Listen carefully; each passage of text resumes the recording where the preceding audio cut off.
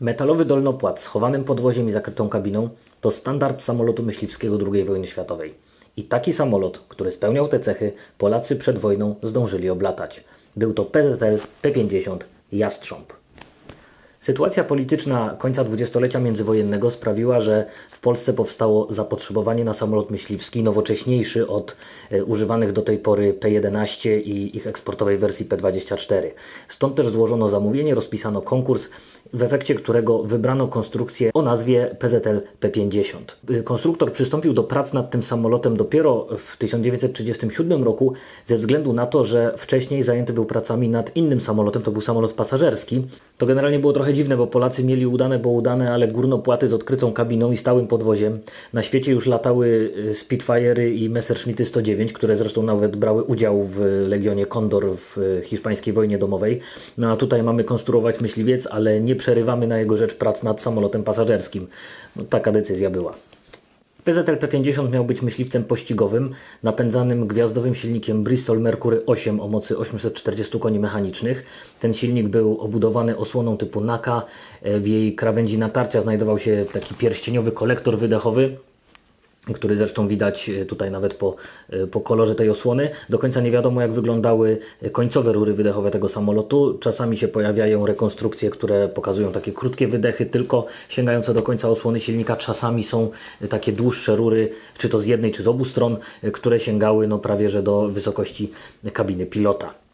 Oprócz tego silnika zastosowano w tym płatowcu szereg rozwiązań, które były no, nie do końca nowoczesne. Generalnie ten samolot wyglądał jak myśliwiec, który no, mógłby sobie radzić nawet i do końca II wojny światowej, ale tak naprawdę jego konstrukcje e, oparte o rozwiązania no, przestarzałe i ciężkie. Nie było półskorupowej konstrukcji, była kabina e, i przednia część kadłuba oparta o ciężką stalową kratownicę. Nie wykorzystano gotowych elementów, które można było wykorzystać na przykład usterzenia z P24, tylko projektowano je od nowa i to w jakiś w ogóle taki sposób, że to usterzenie jeszcze miało zastrzały. Nie jest jasne, czy wykorzystano końcówki skrzydeł od P24, czy projektowano je od nowa. W każdym razie na pewno nie wykorzystano pełni potencjału rozwiązań, jakie były gotowe. Oblot prototypu opóźnił się również ze względu na kwestie związane z chowanym podwoziem. To podwozie miała początkowo wykonać angielska firma Doughty, ale dostawa się opóźniała i w efekcie wykorzystano podwozie, które było wyprodukowane przez polską firmę Avia. Ono się nazywało 4L. No i to podwozie też no, e, nie jest jakieś super, że tak powiem, dopracowane aerodynamicznie. Ono jest dosyć toporne, ciężkie. Cały ten samolot miał właśnie szereg aerodynamicznych niedoskonałości, które no, nie pozwoliły mu finalnie spełnić pokładanych w nim nadziei. W efekcie dopiero 22 lutego 1939 roku na lotnisku Okęcie pilot Jerzy Widawski dokonał oblotu prototypu samolotu Jastrząb. Ten prototyp, pierwszy prototyp jeszcze miał e, taką e, kształt kadłuba, miał taki, że e, był garb za kabiną i, i płasko kadłub przed dostatecznika. Późniejsze wersje miały łagodne wyprofilowanie od kabiny aż do statecznika. Taki był kształt kadłuba. Próby w locie nie zachwyciły. Okazało się, że samolot ma źle opracowane przejście skrzydła w kadłub, przez to pojawiały się zawirowania, które obejmowały statecznik poziomy. On później musiał być przesunięty wyżej. Występował taki buffeting, czyli drżenia statecznika. E, również słaba była efektywność steru wysokości. Samolot generalnie okazał się za mało zwrotny. E, źle się zachowywał podczas zakrętu na małej prędkości. To złe zachowanie jest raz określane jako walenie się na skrzydło, raz jako wchodzenie e, w ześlizg niezamierzony. Oprócz tego układ dolotowy był o zbyt małej średnicy, przez co silnik nie rozwijał pełnej mocy. Samolot w efekcie osiągnął tylko prędkość 420 km na godzinę. Oczekiwano, że będzie ona no, o 1 czwartą wyższa, tak więc tutaj on w ogóle y, y, praktycznie o kilka kilometrów na godzinę okazał się szybszy niż, niż dużo starszej konstrukcji P-24. Ustępował również poprzednim samolotom w kwestii zwrotności, manewrowości. W ogóle niedowiary informacja była taka, że podczas symulowanej walki e, z bombowcem Łoś, który był oczywiście bez ładunku bombowego, e, Łoś był w stanie wygrać walkę manewrową z prototypem Jastrzębia i w żadnej sytuacji Jastrząb nie był w stanie znaleźć się nad ani za Łosiem, co byłoby pozycją zdolną do oddania strzału. Oczywiście to były czasy, kiedy celować we wroga trzeba było całym samolotem. Tak więc doskonały aerodynamicznie i udany łoś, bombowiec dwusilnikowy był zwrotniejszy niż, niż projektowany myśliwiec. Y, tak więc no niestety nadziei Jastrząb zdecydowanie nie spełnił, a warto tutaj zauważyć, że on był testowany w wersji prototypowej, czyli był bez uzbrojenia, bez radia, nie było aparatury do lotów nocnych, nie wiadomo czy była instalacja gaśnicza, nie było instalacji tlenowej, e, stosowano trzy różne śmigła różnych firm i cały czas ten samolot nadziei w nim pokładanych nie spełniał. Prototyp Jastrzębia nie był też uzbrojony. Planowane uzbrojenie to były e, dwa karabiny maszynowe kalibru 7,92 e, umieszczone na kadłubie. To był karabin wzór 36. Celownik miał się znajdować przed kabiną pilota i miały one strzelać przez śmigło dzięki synchronizatorowi JS-03, a kolejne dwa takie same karabiny miały mieścić się na skrzydłach. Niektóre wersje podają, że planowano również dwa karabiny i dwa działka kalibru 20 mm. Oprócz tego Jastrząb miał być zdolny do przeniesienia 100 kg bomb. No, mimo tych niezachwycających y, wyników testów zalecono poprawienie błędów konstrukcyjnych i zamówiono 300 samolotów, z których 50 pierwszych miało być dostarczonych we wrześniu 1939 roku do jednostek. Prace nad myśliwcem były tajne, ale prototyp oglądał minister spraw zagranicznych Włoch Galeazzo Ciano. Są zdjęcia pokazujące tę wizytę, natomiast niestety nie widać na nich wyraźnie samego samolotu. Kolejny zagraniczny akcent w historii PZL P-50 to jego porównanie z amerykańskim myśliwcem Sewerski P-35 i ponoć testy porównawcze nie wykazały, że polska konstrukcja odbiega od konstrukcji amerykańskiej. Mimo tego podczas konstrukcji P50 wprowadzano kolejne zmiany, zmiany decyzyjne. E, między innymi e, pilot Bolesław Orliński wypowiadał się, że woli latać na P11 niż na Jastrzębiu, więc prace nad Jastrzębiem zostały przyhamowane, a silniki Bristol Mercury, których było gotowych 150, zdecydowano montować do myśliwców P11. W ten sposób powstała wersja P11G.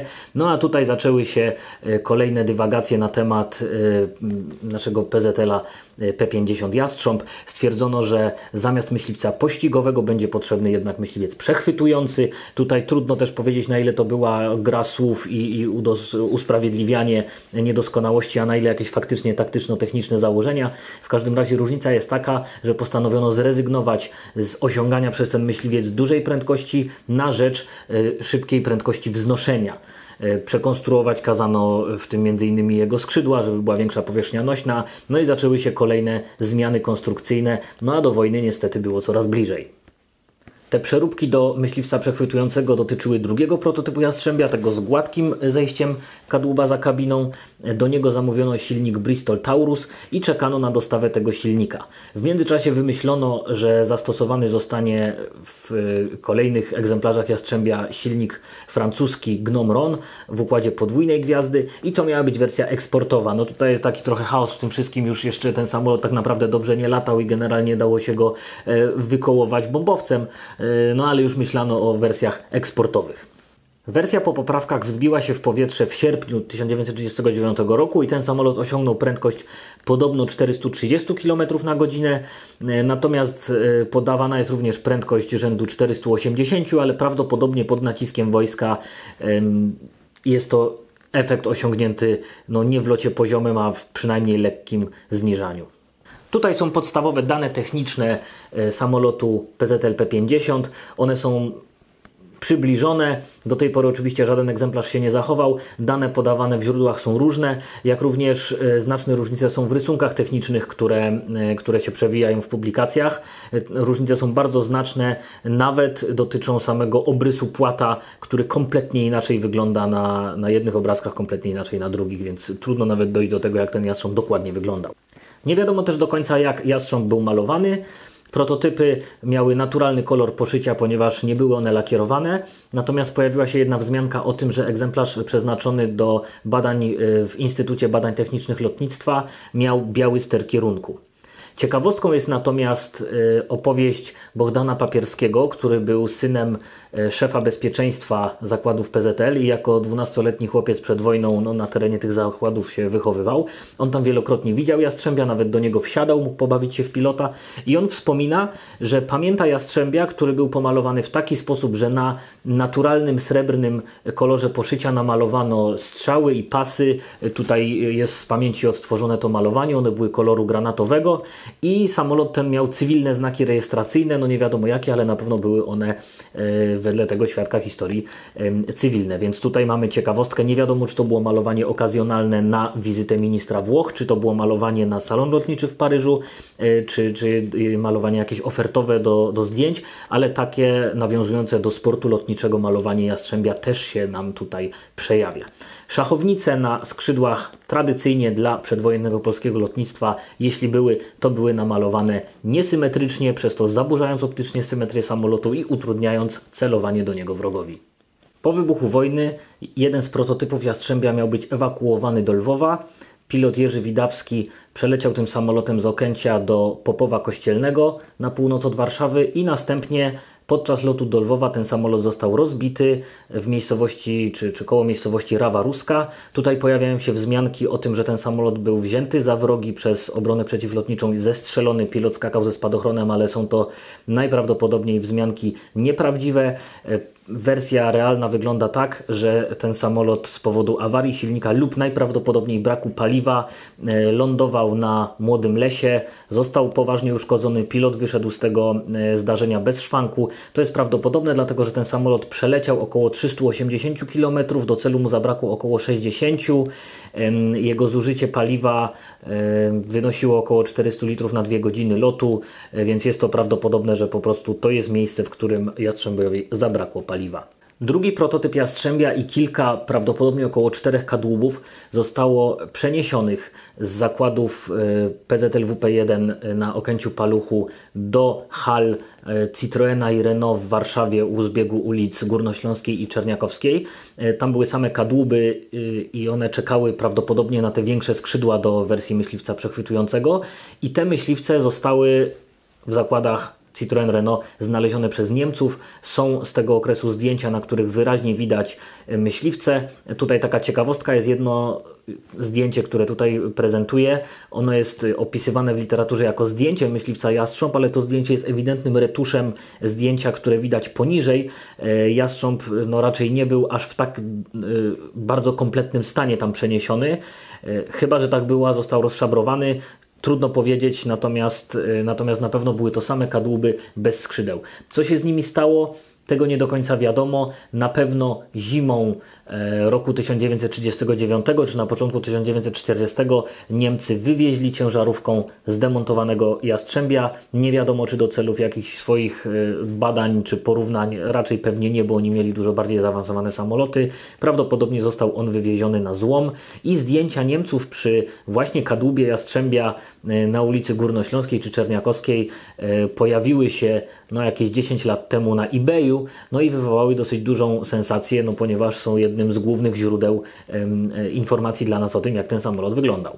Jastrząb nie zdążył wziąć udziału w kampanii wrześniowej w obronie polskiego nieba, natomiast piloci, którzy na nim latali, później siedli w Anglii za sterami innych myśliwców i między innymi porównując Jastrzębia do Hurricane'a, mówili, że Teraz widzą, że Jastrząb może nie był do końca tak skazanym na porażkę prototypem i że przed wojną został zbyt mocno i zbyt surowo oceniony.